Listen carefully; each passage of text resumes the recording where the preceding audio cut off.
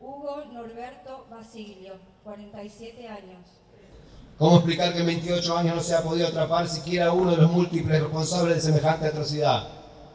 Que los canallas, miserables y asesinos de 85 personas siguen disfrutando de su vida diaria, paseando por el mundo con total libertad. ¿Cómo se explica tanta impunidad?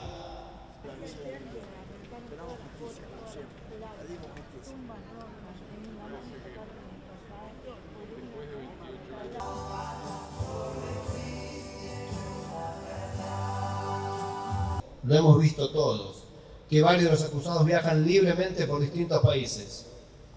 Todavía tenemos fresco en la memoria cuando en enero de este año el iranismo Rezai, uno de los acusados por la justicia argentina de haber participado en el atentado terrorista, representó a su país en el acto de reasunción de Daniel Ortega en Nicaragua.